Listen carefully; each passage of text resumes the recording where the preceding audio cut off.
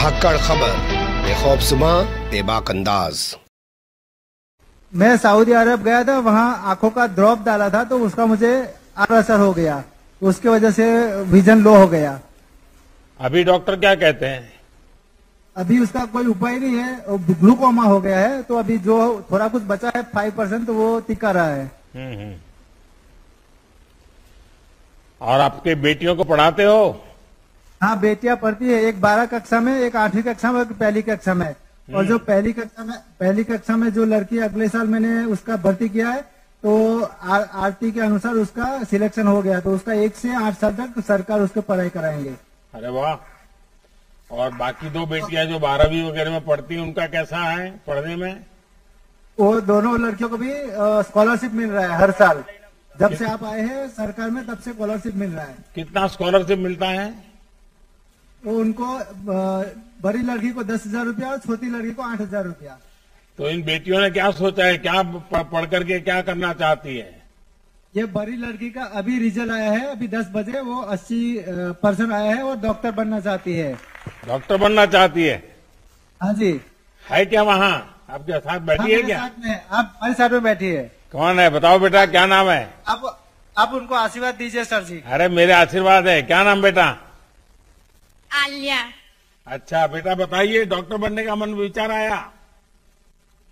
पापा की प्रॉब्लम को देखकर।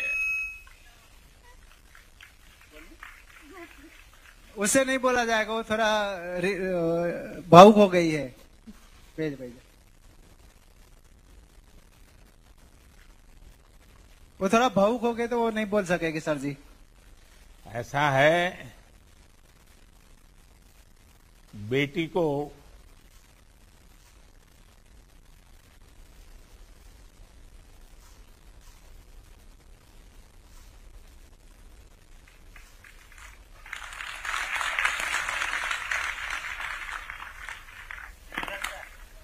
बिठाने? नहीं बोले हाँ तो दे अरे वो भेज। बेटी तुम्हारी ये जो संवेदना है ना वही तुम्हारी ताकत है।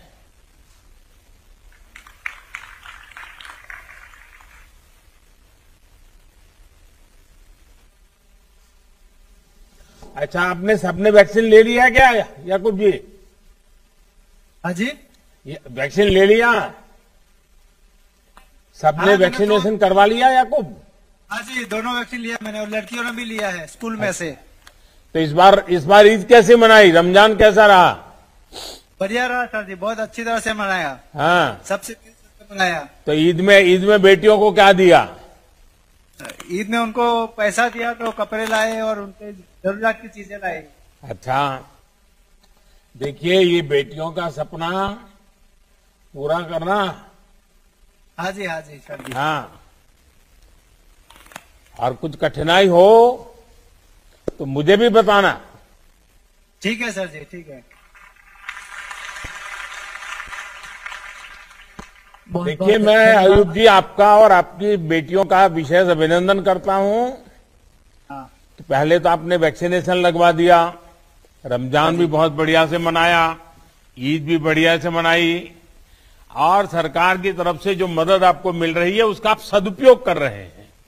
हाँ जी हाँ जी आप अपने शारीरिक जो पीड़ा है उसको शक्ति में बदल रहे हो और बेटियों को डॉक्टर बनाना और बेटी के मन में विचार आना कि पिताजी की इस पीड़ा ने मुझे डॉक्टर बनने की प्रेरणा दी અને સાહેબ ભરૂચ થી દિલ્હી